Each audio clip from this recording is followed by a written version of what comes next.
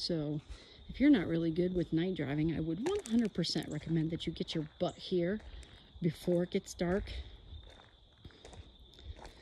If you're like me and you wear a motion patch for motion sickness,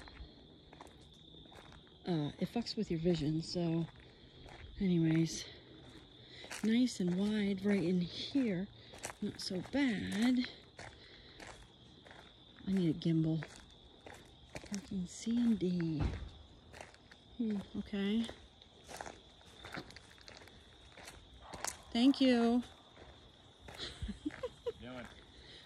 Videoing.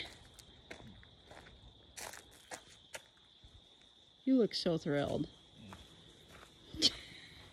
I know, I just drag you along. It's kind of narrow right in here, and it is uneven.